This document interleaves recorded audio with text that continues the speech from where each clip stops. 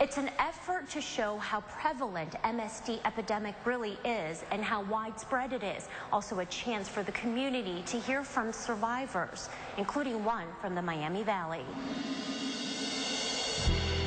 It's an award-winning documentary featuring three locals, military rape victim and survivor Kori Cioca of Wilmington, and Congressman Mike Turner, the co-chair of the Military Sexual Assault Prevention Caucus. He announced the public screening will be held at the Dayton Art Institute this month, sponsored by DPNL. With uh, Wright-Patterson Air Force Base in our backyard, I think it is also important for us to raise the awareness of the fact that this is an issue that the leadership of our military and the leadership of our Air Force are, are looking to address. The third local featured is honored by photo only. Maria Lauterbach of Vandalia, murdered in 2007. When my daughter called me and told me that she was raped, I naively encouraged her to report it, even though it had happened a month before, because I assumed that she would be protected and would be brought to swift justice.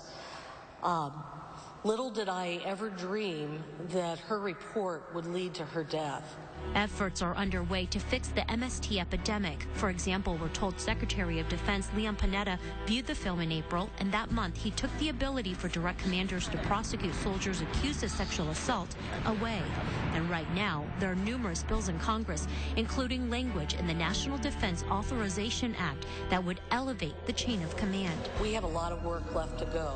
And coming up new at 6, hear from Mary Lauterbach, our one-on-one interview with her today. Reporting in Dayton, Yuna Lee, News Center 7. The screening for the public is free, taking place September 13th at 6 in the evening at the Dayton Art Institute. You can get your free ticket by calling 223-4ART. A public meeting.